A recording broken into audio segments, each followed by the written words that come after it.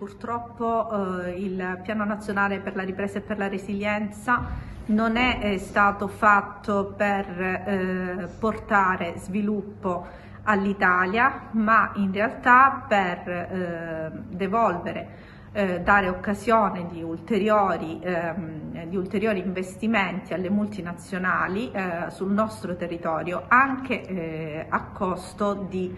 eh, saccheggiarlo e depredarlo sotto il profilo per esempio paesaggistico ma anche eh, sotto altri punti di vista. Il gap nord-sud non è proprio contemplato e quindi tutto questo fa, fa sì che insomma, tanti soldi vengano investiti del nostro debito in una direzione che non porterà bene all'Italia.